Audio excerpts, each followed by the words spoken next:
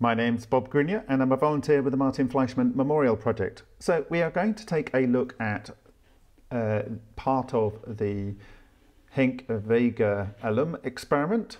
This is the first one that was done uh, prior to my visiting him and it has an aluminium cathode at the bottom here where we have this uh, lovely starfish and this is an anode here which is also made of aluminium and this came about uh, because of our observation that John Hutchison was using aluminium and uh, then my discussions with Georg Egely uh, led to his uh, device using aluminium electrodes. And I subsequently found that it was one of the three preferred elements along with beryllium and magnesium for producing clean ether streams uh, by one Nikola Tesla from the early uh, part of the last century, even back to the 1880s.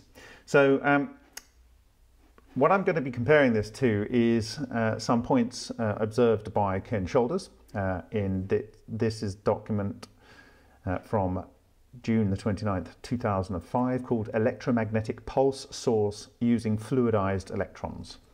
Okay, and couple of things that I think we'd be interested in is this SEM of EVO skipping across a film of aluminium on glass. And so this kind of skipping across the surface and you can see a close up of it here. I think we're going to see something similar to that in our experiment. And this is also a magnified view of the EVO breakup. Okay, so bear this kind of imagery in mind as we see what we see. And then the second is here's a, a vortical pair of EVOs and some odd movements with the EVOs. But that's not what I'm mostly interested in. I'm interested in this image here and it says figure 7 SEM of EVO launching source from chromium film deposited on glass substrate. This unique diagnostic technique shows that electrons flow towards the center launching point where the EVO departed into a low pressure gas environment and on to the anode. The electron flow direction can be seen due to the momentum imparted to the fluidized chromium that moved inwards instead of outwards on each of the current feed branches. The thinned region of convergence at the center is where the EVO lifted off uh, the surface for the anode flight. Without the use of high resistance chromium film, this effect cannot be seen. And so what is he referring to? He's referring to the fact that electrons are coming in here and because of the direction of these globules on the edge of the chromium film, uh, you can see the direction um, that it's traveling in, not out and also the fact that it thins and that all these electrons must come down and, and form a more condensed state. I believe that that is essentially what we are witnessing on this system.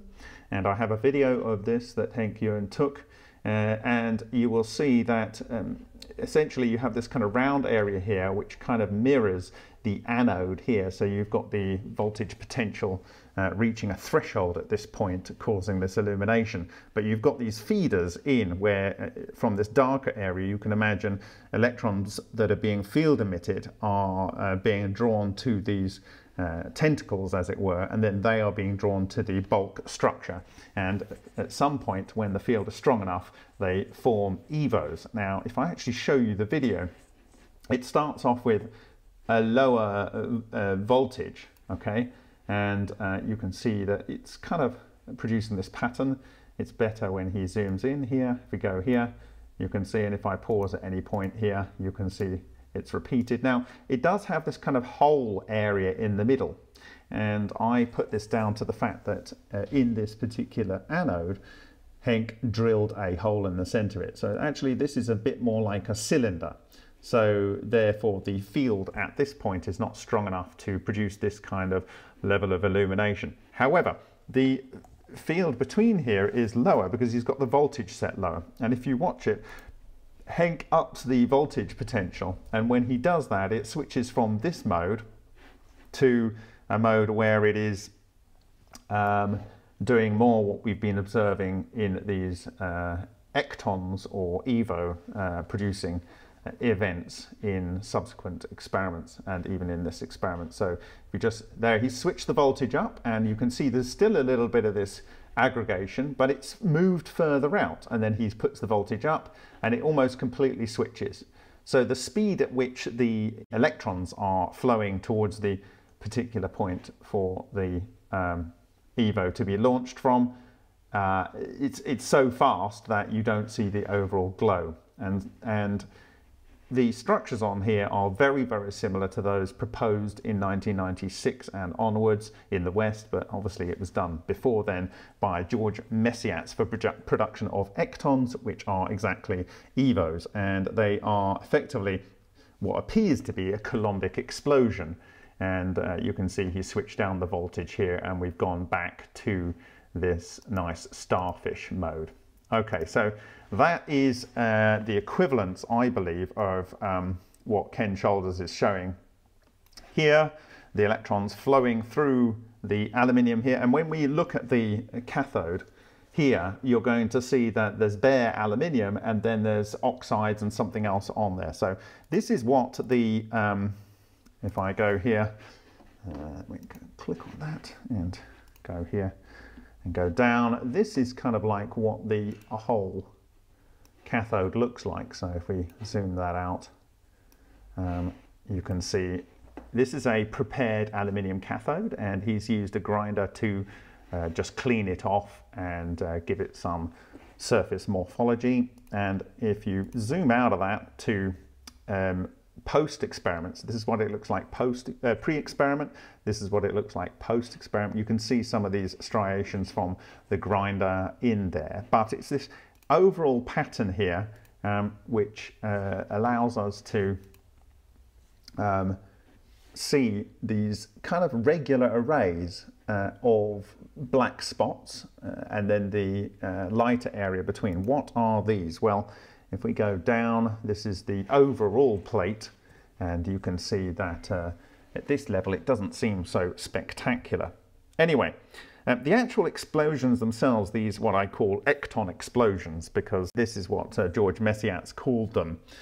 Uh, if you have the camera exposed uh, to a certain degree, you can see something like this, and that is okay up to a point, and we discussed this in a different video. And on this, if I can actually zoom in, so here I can zoom in, you can see here uh, the structure under here. Now you're going to see in a minute that uh, these what look like black spots here are actually raised areas and there are these um, lower areas which are the more bare aluminium okay so you can imagine that what you're seeing with that starfish earlier is the uh, field emission from the aluminium glowing and then traveling down these channels to a point of launching for the EVO. And actually down here we have some smaller ones that have occurred within the same um, shot here, one here and one here. And we discussed these in a separate video, but this is gives you an idea of what it looks like. And I have another image, which we will look at now here. And this is the same, effectively the same kind of, uh, in fact it is the same image. Um, all I've done in this case is I have, um, if I zoom out of the original one, um, mm -hmm, here, I've just changed the exposure level. So this is effectively boom, boom. And you can see that this is very, very spherical, albeit just slightly modified by the fact that there's a flat plate below and uh, there we go. But um, you can see the substructure of the cathode underneath there. Okay, so zoom into this as well. You can see effectively what we are talking about here. Okay. All right very, very spherical expansion on this um, EVO launch, this is EVO explosion. Right, now we're then going to look at how this looks um, on the cathode itself. So here is the cathode and Um, what you can see here is uh, the aluminium, which is this slightly sparkly stuff. Then there is these kind of like out of focus uh, structures. And they are, if I move down and I might, sorry, move the focal point towards you, uh, towards the viewer, you can see now this is out of focus on the aluminium and whatever these are, um, are now more in focus now. Uh, Henk Jurrien uh, on the suggestion of David Budlier actually scraped some of these structures off to see if they were magnetic and indeed they were and also some parts of the aluminium anode was also magnetic. So we are going to find out what these are. But given the fact that we have this not thing that doesn't look like the aluminium and it doesn't look like whatever these fluffy things are which might be aluminium oxide I would suggest that potentially given our experience here that things that look like this might be iron and could they be crenellated iron microspheres and could they be the synthesized during the uh, ectons, during the uh, Coulombic explosions, during these EVO launches and is that what causes this breakup? I don't know. So there we go and actually I've got a composite composition of a number of different um, uh, micros microscopy images here. This one here I'm going to change the quadrant of the lighting angle and so you can see that actually these things are quite raised up. So moving back round to the left and rotating round to the right. Okay, so you can see these are quite raised up because we're focused on the background here. And here I have another one and there's this appears to be this glass bead. Now note the shadow is here and the highlight is here. So this is an internal reflection. So either this is a hemispherical hole in the center of this overall bit here, or it's a glass bead and you're seeing the backside reflection in there of the two LEDs from that particular quadrant on the Dino-Lite microscope.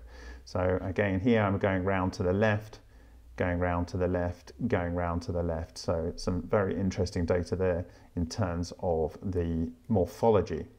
Now, um, the scales on this have uh, these uh, white tufty bits uh, going from essentially about, I don't know, five or whatever microns, small ones down here, very small ones here, all the way up to about 92 or so, maybe a little bit bigger over here, 100 or so microns. And then the gaps between them are around about 100 to 300 microns, you can see here. So that gives you an idea of the scale. Now without specular on, you get something like this. So this removes all of the reflection from the aluminium and you can see that this is very white and fluffy. So my, my gut feeling is that this will turn out to be aluminium oxide and obviously alumina is something that Ken Shoulders used as a guide for exotic vacuum objects. And so this is a self-organized structure that allows for the um, guiding of a flow of field emitted electrons to go to a launching point. And so it's like, it's, it's almost ideal uh, in its production. Now, I question whether this thing in the center of this uh, alumina thing might be iron, and maybe this one is iron, and maybe this is why we are seeing these magnetic things occurring. This is with no um, uh, uh sort of polarizing on and so we are seeing the specular reflections here and again we have a sphere here we have a sphere here. We have almost potentially a buried sphere here. We've got a black object here whatever that is. We have a kind of look looks like a sphere here. We have kind of what looks like a sphere here and and buried under here. So I don't know but uh, I, I suspect given the history of the Vega experiments and the fact that aluminium is known to fuse to iron if these are all iron spheres and they are part of the morphology of these structures and potentially they came from an EVO launching point or an ecton explosion, these could be areas where um, these nuclear reactions occurred. So I'm very excited to be able to look at samples of this as soon as possible. So there we go. And I will look at this, which is a split screen. and I've shared this already uh, and you can download a very high quality non-frame blended version from the YouTube link for this. Uh, and it's, uh, I think the video that you can download is Coulomb 4K split. And what I've done is this is the as exposed uh, Sony Alpha uh, with a, a 70 millimeter uh, lens on it, uh, zoomed into the uh, cathode here, focused on the cathode. This is the anode. And what I did was, is I underexposed it over here for the first set of uh, images, and then later in the video, uh, when I changed the parameters, and you can hear that in the audio when I'm changing the f-stop and the shutter speed and so forth, I then um, overexposed this side. So at the moment it's underexposed, and I've got, in this particular instance, I have a light coming from the side, which allows us to see what the anode and cathode uh, look like and what part is in focus in these frames. I'm going to step through these frames um, and then I'll probably share these uh, raw frames for people to analyze, but it tells us a lot about what is going on. So here we go, there's our first uh, our ecton here, and it just looks like an arc uh, to you and me, but we have now learnt that electrons are flowing from the outside through field emission, and they're gathering to a central point, and that that is causing the ecton to launch, given the surface feature and all of the parameters uh, um, that occur in this highly self-organizing event. Now, after the explosion, you get see some fragmentation. We're going to see this much cl clearer later on. And then that dies, and then we have a little bit of a uh, thing dying out here. So what this shows is it's starting, the event is starting on the cathode, it's breaching uh, the, um, the uh, gas, low pressure gas in here, air, and then it's uh, finalizing its journey on the anode. And as we move forward, we can see that it's out of focus but we actually have a, a little bit of heat glow here, uh, which fades away in these couple of frames. So it's starting here and then it's en ending its life here. And this is just what was being discussed by Ken Shoulders in his 2005 paper there. Okay, and it's nearly gone, and there we go, it's gone. Right, next frame. Now, what's happened here is the shutter for the Sony has come down from the top and this event started happening only when the, the rolling shutter reached here, so it isn't lit in the full frame. So this shows us for all of this time as it, the Sony Alpha was uh, taking this 100 and whatever it is, two, one, one, two, one 250th of a second uh, grab potentially, or this might be one 120th of a second, I think it is, uh, uh frame it got to this point and it, it, actually this event occurred and illuminated the frames from this point onwards. So uh, um, this is confirmation again that it's starting at the bottom and working up. And the next frame you can see now it's completely captured. And you can see this launched thing out here. And we're going to see more of that. And then you can see this is dying down and the continued launch thing is traveling off in this direction. And we've got a little bit of a cool down on the spot on the anode.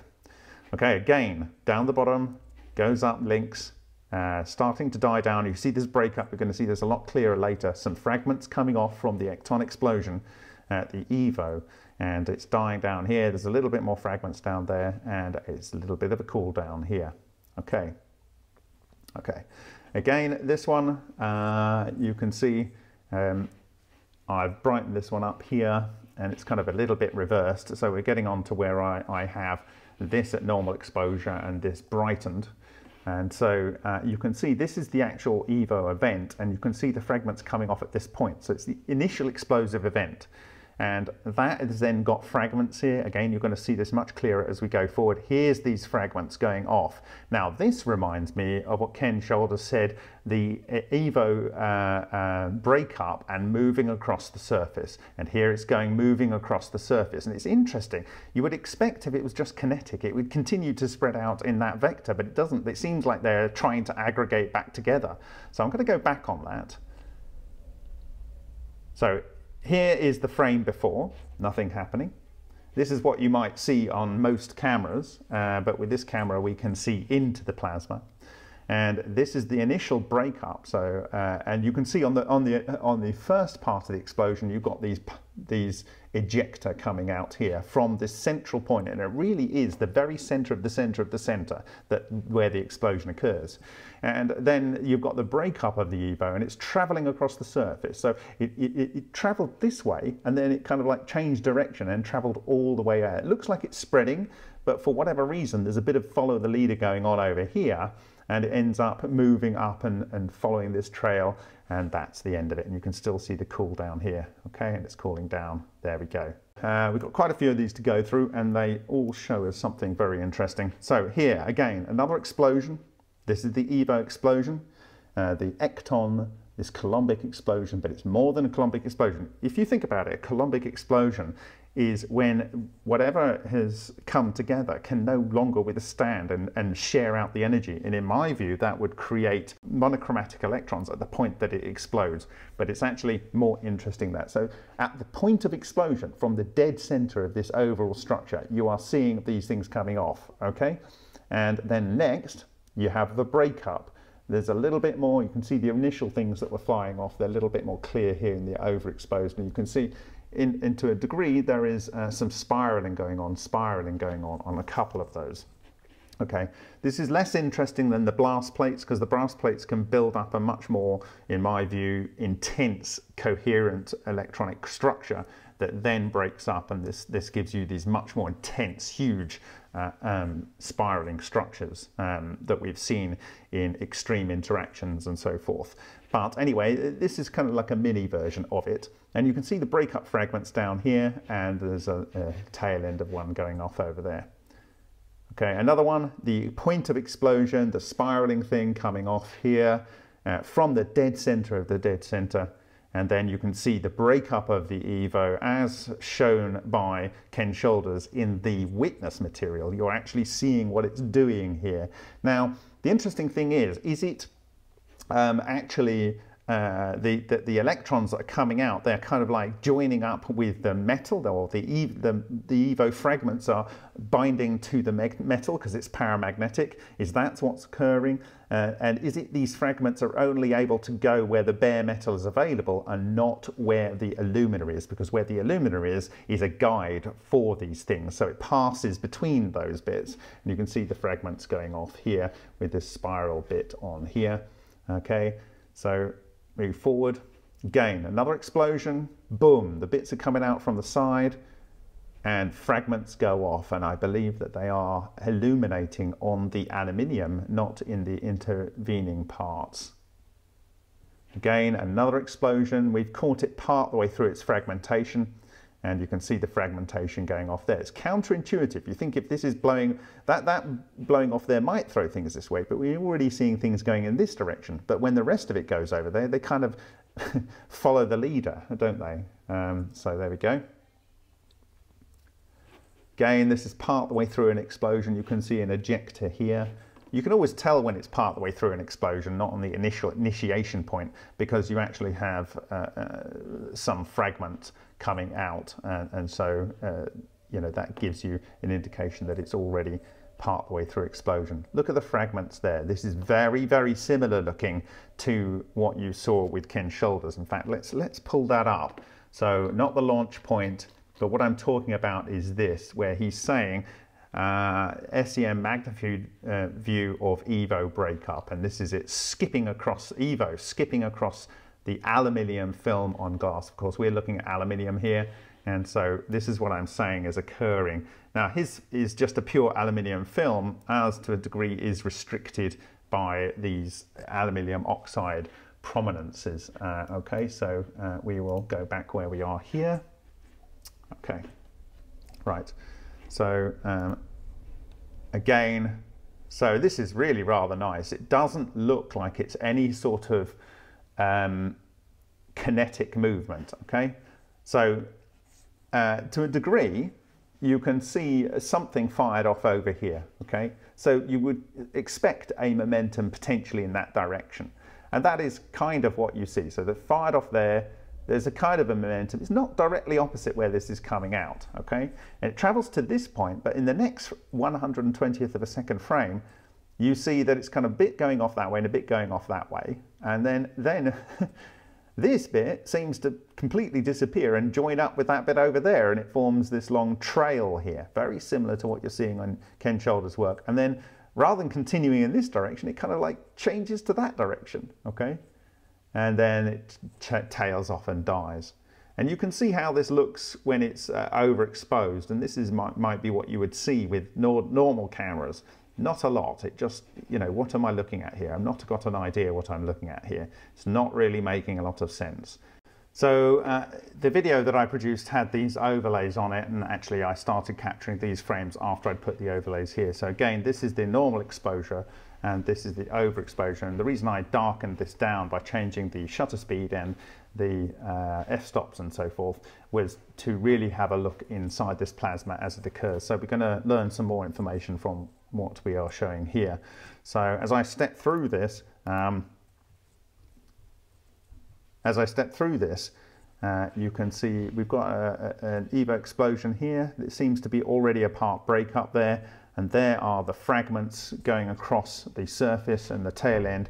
And again, that's the end of that. This is maybe is this the very, very start? And it's often you see this uh, flux loop going on. And I would expect that that had, would have some substructure and we might have seen that before. But anyway, here's the fact that it's caught it right at this point. So just before this happened, it started to be captured by the camera in this part of the rolling shutter.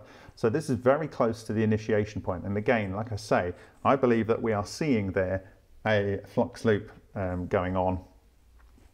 And we can see the breakup here and it's making connection with the anode and then the fragments of the exotic vacuum object. And look at that, it just completely seems to change direction. So this is the start, it's breaking up, it's going in this direction, and then the next uh, 120th of a second, it goes that direction. Now, is it because this part of the Evo died? I don't know, and this one broke up and moved in this way? Possibly. Okay. Again, this is, uh, this is quite part the way through a breakup, and you can see some fragments that came off uh, or some uh, ejecta from the event. Uh, you can see another ejecta here. It's a bit lighter on this one. There's the fragments and there's one little dying part there which still seems to make a bit of ionization connection with the anode. In this one, again, it's, it's part the way through an explosion and it's like part of the substructure has also exploded at this point. So you can see we have the initial explosion point, a vector here, and a vector here from the initial point, but a fragment has come over here and it's self-exploded. And then, bizarrely, it goes off in that direction. Again, this is very, very close to the initiation point. And again, it might not be clear, but you can have a look and download the original files. This looks like a flux loop, okay? It's not a singular point. Now, is it a singular point that then split into two sections and then there's some link between them? Possibly. But you can see that because the rolling shutter hit at this point, it's almost exactly at the point of initiation and there we can see the breakup and this is quite beautiful actually because um, this particular sequence here. Because if I put my mouse pointer on the dead center of that yeah if I put my mouse pointer on the dead center of that right there you can see as I step forward there's still a central bit there and a bit's gone that way and a bit's gone this way and here. Um, I will do some uh, more intense study of these things. Okay and then there's a bit of breakup going there Okay, this is part the way through a breakup. We've got a frag, uh, so some ejecta going off here. There's the Evo breaking up there. This is, uh, you can see the ejecta coming here. Fragments, not so impressive that one. Boom. Lovely, lovely fragments here. Now, like I say, is it fragments or is it just where the Evo is skipping on the surface and causing emission of electrons from the bare aluminium and it's being uh, uh, missing or rather avoiding the alumina oxide. We'll be able to know more when we analyze what those little trees are, are that we were looking at earlier. Boom. it goes a long way, this one. Look at that. It's gone out of focus there. But So it starts here. This is the dead initiation, explosion. There's fragments here from the previous frame. So you can see there's an explosion here from the initial explosion. And then there's a couple of bits there. It's almost like it's exploding on the second time. It's gone over here. Then it goes up here, breaks up, then goes up here. And that's it. Boom. Boom. Look at that. Wonderful. Look, look. So that's the initial explosion, and there's a particle uh, coming off here from the initial explosion, uh, which happened quite, quite, uh, you know, well before the start of this scan on the frame. And then you've got three fragments here, and then three and a bit fragments here, and then it's four fragments, and so on. And it's kind of like got on the side of the frame there. Now this is interesting because it actually has this line and I think this is probably some sort of visual aberration, but it is interesting that, that from the center of this it's, it's just coming straight down. So need to think about that, what might be causing that. But uh, yes, it's definitely uh, an explosive, explosive event here and boom, we've got the parts going over there Boom. Now this one, actually, uh, you know, it's, it's, already well through an explosion at this point, and you can see there's a couple of ejecta here which are, are more obvious on the overexposure here. And it breaks up, but then there's another couple of explosions from the breakup particles here. So, you know, it's quite interesting. And then it travels off down here as a collection. It's a collection. And you can see it almost looks like these two are linked, and then this one is linked with this one. Quite interesting. Again, another explosion with a fragment, these two fragments coming out, continuing. So yeah, this is a close-up of the overall structure. And so I think probably with that, what we have been able to verify essentially is that uh, yes, uh, there is a notion of uh, these things um, launching uh, and aggregating from a central point and um, which we showed by using this. And that uh, if we turn up the power we lose this ability to see the kind of aggregation process. Uh, and if we go here we saw that it ends up being just sparking. So the aggregation process is so fast that you're only seeing the actual Coulombic explosions. Uh, uh, that's the simplest way to put it, but actually they are the producers of evos and ectons. Okay, and it's almost like the the cell itself, the uh, produces a cathode, which is then more and more suited for uh, producing uh, EVO launches based on the position of the anode. And you can see it's different here in the center where there was a, you know, uh, hole in the center of the anode, uh, which gave a different sort of field strength in the center compared to this region around the outside. Okay, and uh, yeah, so uh, we showed this and the intensity of uh, one of these EVOS explosions caught here, and we showed the structures here and in fact uh, you can see in other work uh, maybe where he shows his devices for producing evos kind of like a ceramic here like a alumina and this is where the evo is being channeled down. So these if they are alumina or um, most likely alumina but potentially if a proton from the hydrogen from either added hydrogen or the um, water that's in there, if that has produced uh, silicon, this could be silicon dioxide, either way it's an insulator. Yeah, silicon dioxide is a very, very good uh, dielectric. And so these would be the channels upon uh, through which uh, you would expect the kind of effects that uh, we were discussing occurring due to this kind of effect and leading to the skipping along the surface that we have observed. So yes, and this in my theory could be potentially an iron ball and if so we are creating a lot of iron from aluminium here. And so you can see how prone they are from the surface. And um, that was the Coulomb events. So that I think is what I wanted to share with you today. I think we have verified Ken Shoulders' production of fluidized electrons and we have seen how they occur and um, the observations of them skipping. Uh, maybe we can find a single frame. There we go. So skipping along the surface uh, like he observed here and uh, launching like he described in this image here. Uh, this is just a lower voltage. So thank you very much for your time and I will see you in the next video.